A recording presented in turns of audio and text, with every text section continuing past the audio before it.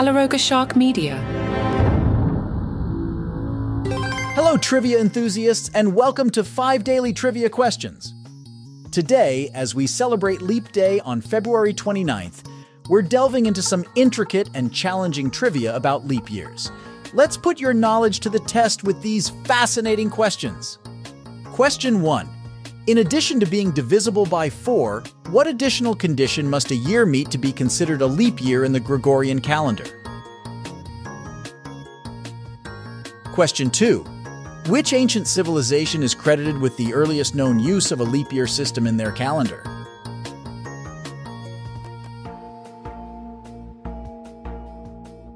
Question 3.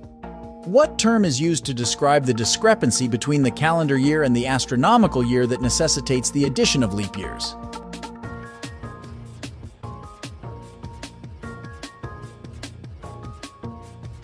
Question 4. Which pope introduced the Gregorian calendar reform in 1582, which refined the leap year system and corrected errors in the Julian calendar?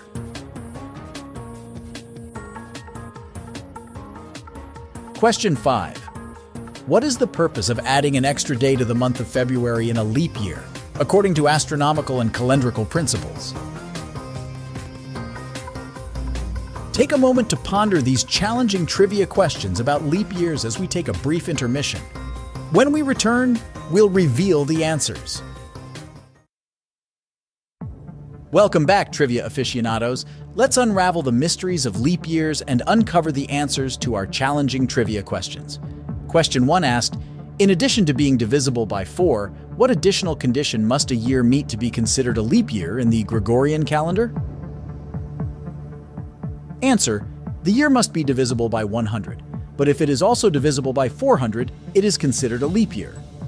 Fun fact, this additional condition helps ensure accurate synchronization with the Earth's orbit around the Sun. Question 2 asked, which ancient civilization is credited with the earliest known use of a leap year system in their calendar? Answer, the ancient Egyptians are credited with implementing a form of leap year in their calendar system. Fun fact, the ancient Egyptian leap year system was based on the annual flooding of the Nile River.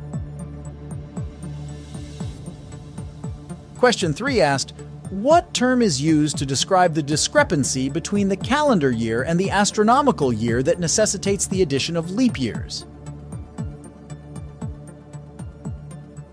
Answer, the term is tropical year anomaly or solar year anomaly. Fun fact, the tropical year anomaly is caused by the Earth's orbit around the Sun being slightly longer than 365 days. Question 4 asked, which pope introduced the Gregorian calendar reform in 1582, which refined the leap year system and corrected errors in the Julian calendar? Answer, Pope Gregory XIII introduced the Gregorian calendar reform. Fun fact, the reform was implemented to realign the calendar with the equinoxes and improve the accuracy of timekeeping. Question 5 asked, what is the purpose of adding an extra day to the month of February in a leap year, according to astronomical and calendrical principles? Answer The purpose is to compensate for the discrepancy between the calendar year and the time it takes for the Earth to orbit the Sun. Fun fact without leap years, the calendar would gradually drift out of alignment with the seasons.